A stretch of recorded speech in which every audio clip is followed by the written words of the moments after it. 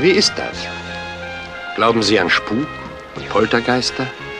An okkulte Erscheinungen? Oder vielleicht an Wahrträume und Visionen und an zweites Gesicht? Nein? Sie halten sicher auch Hellseher und Gedankenleser und Zukunftsdeuter für Betrüger, nicht wahr? Man weiß nicht so recht, wie das eigentlich gemacht wird und wie das bei diesen Leuten funktioniert. Und was wir uns nicht erklären können, was außerhalb unserer fünf Sinne liegt, das erschreckt uns natürlich, macht uns ängstlich und lässt uns schließlich ungläubig zweifeln.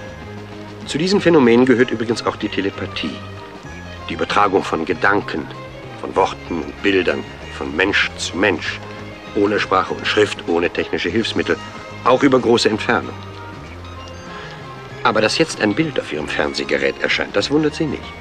Sie wissen ja, wie das funktioniert. Etwas Strom, eine Antenne auf dem Dach, elektromagnetische Wellen, auf der einen Seite ein Sender, auf der anderen ein Empfänger.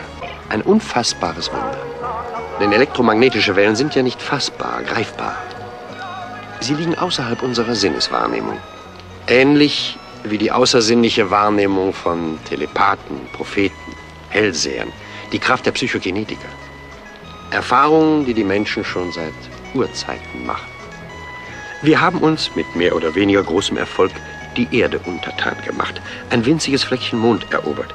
Wir haben gewisse Vorstellungen von diesem unendlichen Universum, das uns umgibt, und auch von jener mikrokosmischen Welt der Atome, aus denen das alles und auch wir aufgebaut sind. Aber bestimmten Fähigkeiten unseres eigenen Gehirns stehen wir etwas fassungslos gegenüber. Denn offenbar geht tatsächlich eine Kraft von ihm aus. Eine für uns noch unbekannte Kraft, die unabhängig von Raum und Zeit auf andere Gehirne einwirken kann. Aber auch auf die scheinbar tote Materie. Mit modernen empirischen Methoden versucht nun die Parapsychologie, die Wirkungsweise dieser Kraft wissenschaftlich zu erforschen. Die Psychologen gaben ihr den Namen Psi. Psi, der 23. Buchstabe des griechischen Alphabets. Psi.